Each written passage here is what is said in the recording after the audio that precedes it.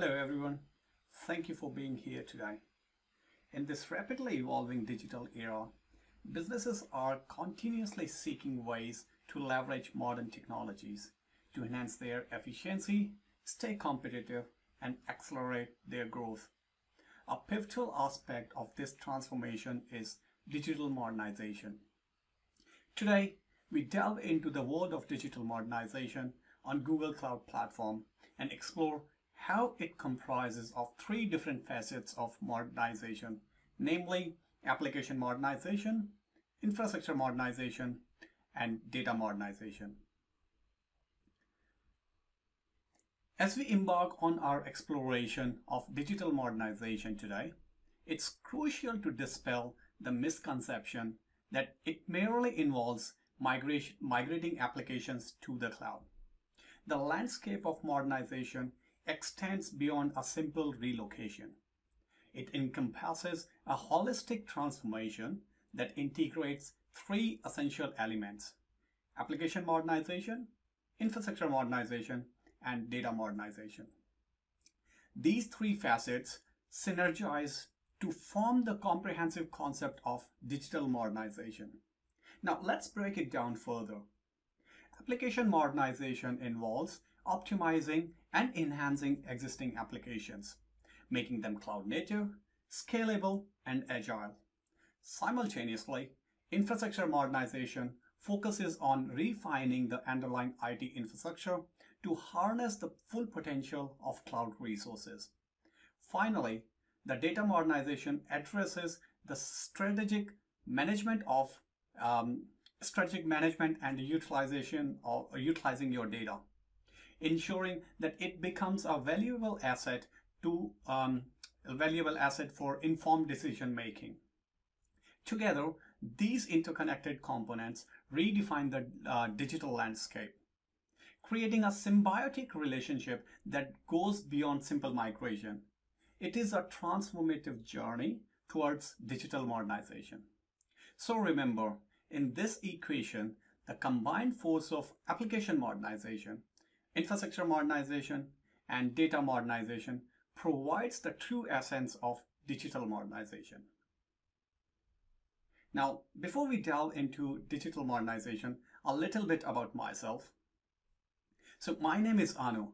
I'm a principal consultant with strong focus on cloud technologies and a passion for delivering innovative solutions. I specialize in Google Cloud Platform with a strong emphasis on professional development.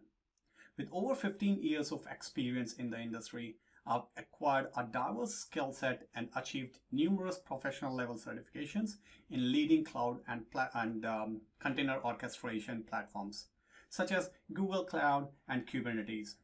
I currently hold now um, 9 out of 11 Google Cloud uh, professional certifications, and I'm aiming to achieve that magical number of 11 soon.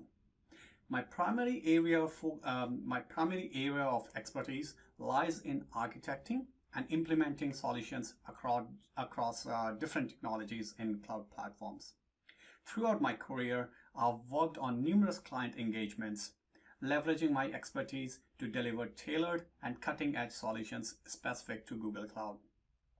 I regularly contribute to uh, blog posts and participate in boot camps where I can engage with other enthusiasts and gain insights from their experiences.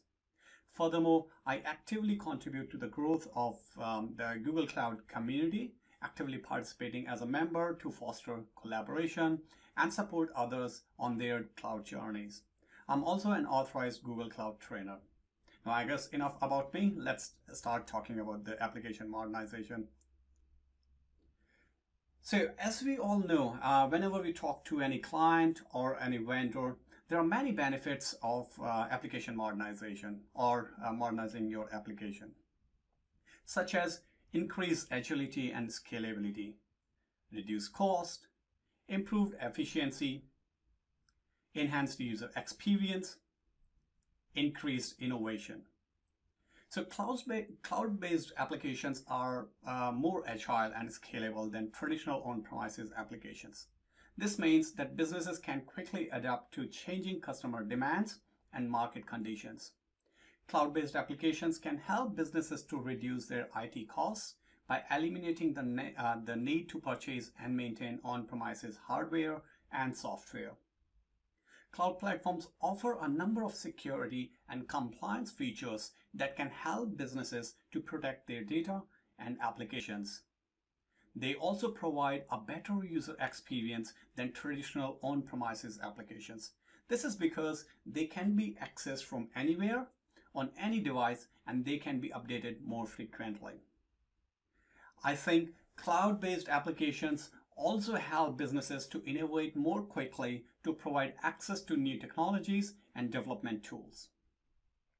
Now, before we dig any further, let's think about uh, what modernization is.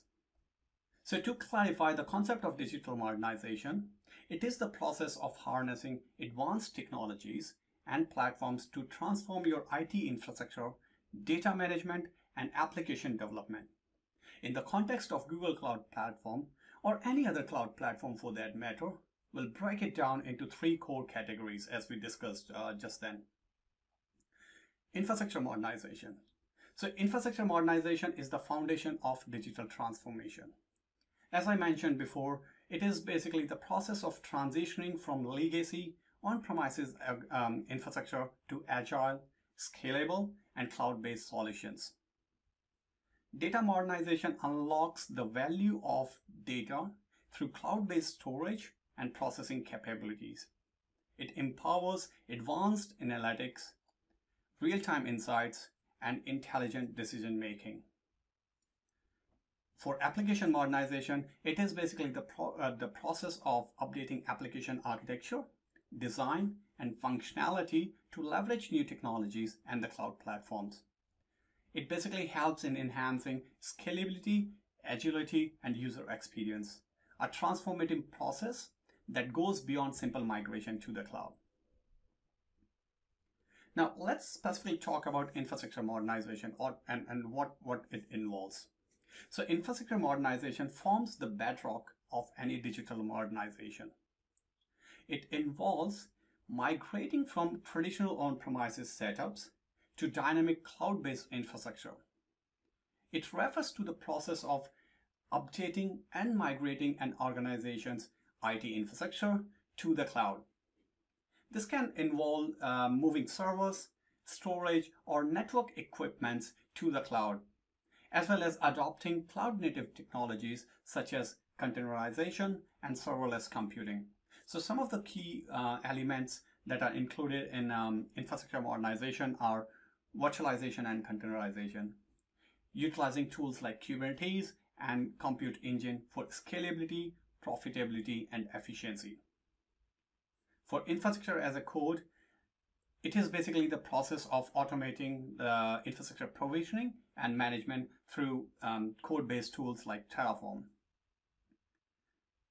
Then serverless computing, which is basically process of leveraging platforms like Cloud Run and Cloud, uh, Cloud Functions for automatic scaling and cost efficiency. So you don't need, really need to spin up the resources that are needed to uh, run your application. It um, uh, spins up the resources on demand. From a network modernization perspective, GCP's high performance network infrastructure for fast, secure, and global, globally connected applications um, is something that we can uh, uh, leverage um, for network modernization.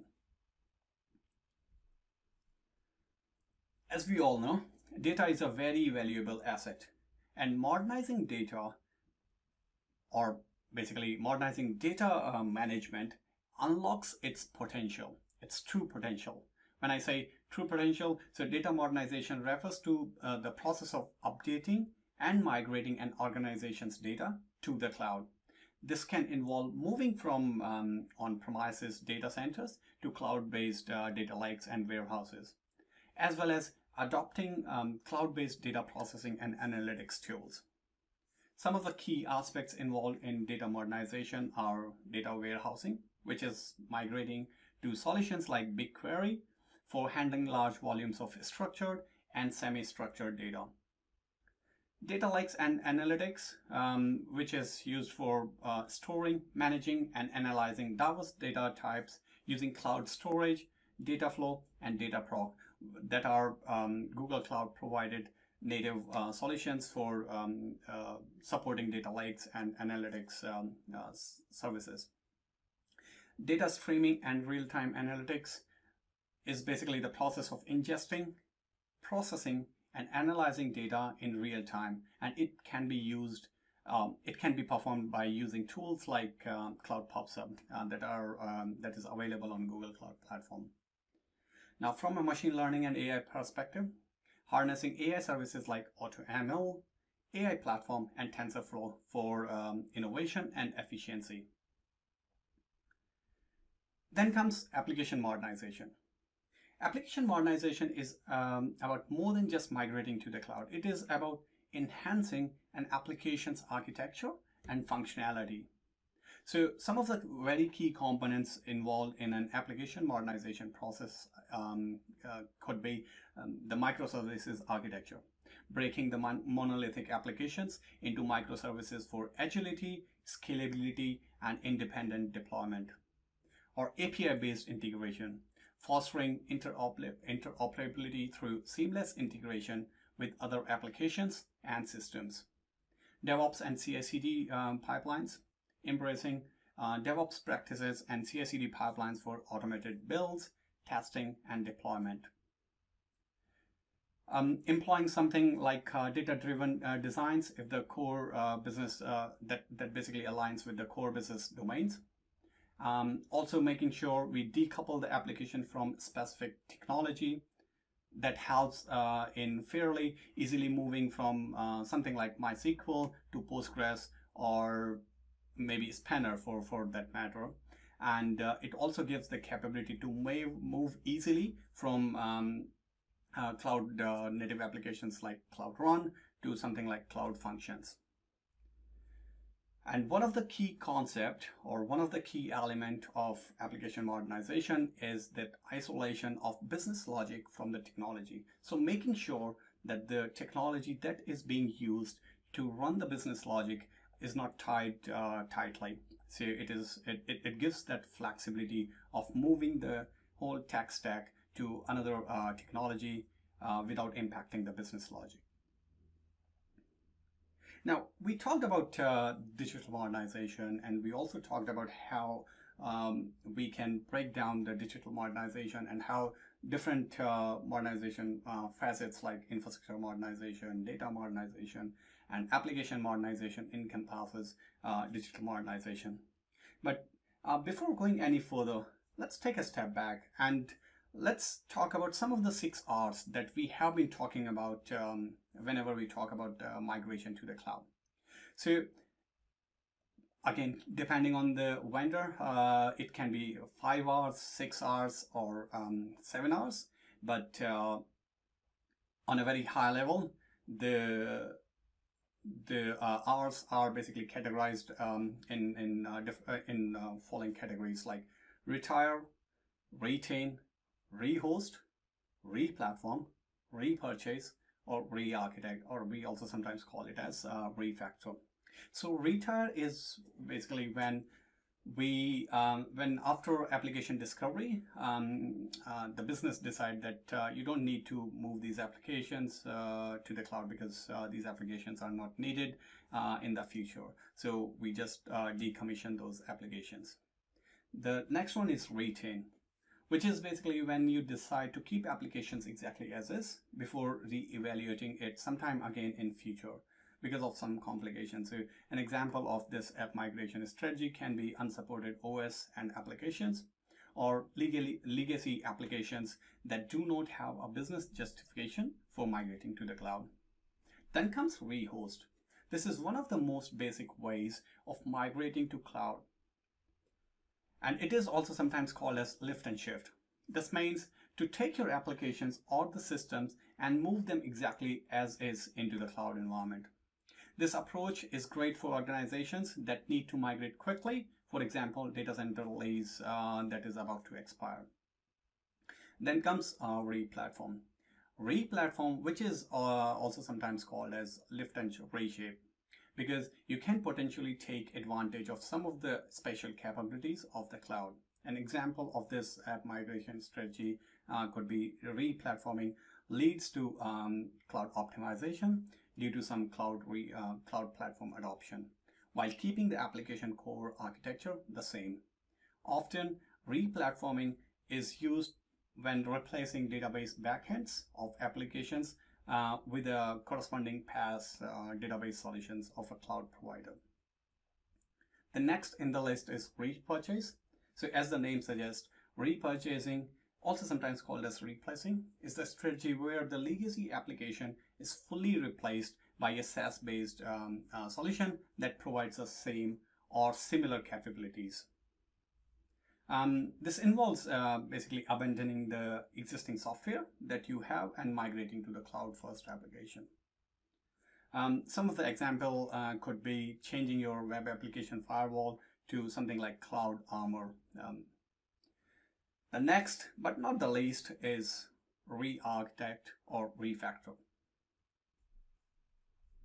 So for highly critical applications that require cloud native characteristics or applications that need thorough modernization due to outdatedness or performance issues. Re-architecting, also called as refactoring or even rebuild, is a strategy that usually, that usually leads to the highest transformation cost. However, it allows optimized use of the cloud, leading to cloud native benefits and making the application future proof. Re-architecting an application um, often comes along with the opportunity to even break it down, um, the supported uh, or break down the supported uh, business processes into fragments, which greatly improves simplicity and makes a business process more agile. This is the most advanced application migration strategy. Put simply, it is a redesign of your application in a more cloud native manner. In general, you create a serverless version of legacy applications um, some of the examples could be uh, migrating your own premises Oracle database uh, to something like uh, Cloud Spanner. You can choose to modernize uh, your um, monolithic application by, by um, as I was saying, breaking it down into smaller microservices and lever leverage services like Cloud Run or Cloud Functions. So now, as I uh, mentioned in the previous slide, application modernization is basically the process of updating and refactoring existing applications to take advantage of new technologies and cloud computing platforms. This can involve a variety of changes, such as migrating applications to the cloud native services, refactoring them to a microservice architecture, or adding new features such as um, mobile support or artificial uh, intelligence. So out of the six R's that we just discussed in uh, the previous slide, the last one where we talked about refactoring or um, uh, rebuilding is basically the process of application modernization. So now, coming to the end, uh, we have been talking about um, the digital modernization and uh, the three components, um, how we break it down. Now, what it will look like um, uh, transforming our application or doing the digital transformation on Google Cloud. So, just to give you an idea, um, this is not uh, the exact um, way uh, that you should be or you would be uh, modernizing your infrastructure. This is one of the possible ways um, and it lists down the services that you could be using to modernize your application. So on the very far left, um, we have, um, so as, as we know, uh, Google Cloud Platform offers a wide range of services and tools um, that can help businesses to modernize their application. So uh, on the very far left, uh, we have um, um, at the top, external facing applications configured with cloud load balancing and Cloud Armor.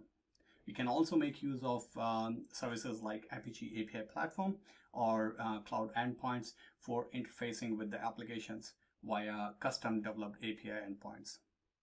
And then um, below that, we have uh, native tools like uh, Cloud Build in conjunction with uh, third-party tools such as Terraform and Packer that are used to define infrastructure as a code. We can make use of um, secrets manager uh, for the applications to store their secrets securely. Data encryption at rest provided by multiple services um, via um, key management system or KMS.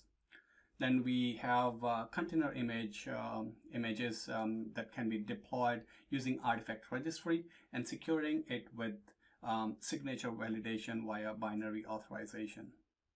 Then we can have our application running on uh, compute co uh, components uh, re-platformed or re-architected into containerized platform uh, such as Cloud Run or GKE or even um, if we can break it down and uh, completely use the modernized uh, or serverless infrastructure, use something like Cloud Functions. Then we have from a data storage perspective, host the data on cloud native services such as um, cloud storage, cloud SQL, Firestore or memory store. Again, depending on what the business use case is, what the requirement is, we can uh, choose uh, one of the following um, uh, services from the available um, services uh, that the Google Cloud Platform offers. Now, we can also make use of event-driven interactions using services like either PubSub or EventArc. Then on the far right, uh, we have a um, uh, whole uh, bunch of uh, services for uh, cloud operations. So Cloud Operations Suite or um, the analytics services uh, like um, BigQuery. And um, from a dashboarding perspective, we have um, Google Cloud Data Studio. Now, moving on, um, distinguishing between the application modernization um, and uh, cloud migration. So we talked about uh, um, how the digital modernization comprises of infrastructure modernization, data modernization, and application modernization. I just wanted to give you a quick uh, view on how the application modernization differs from a simple migration to the cloud.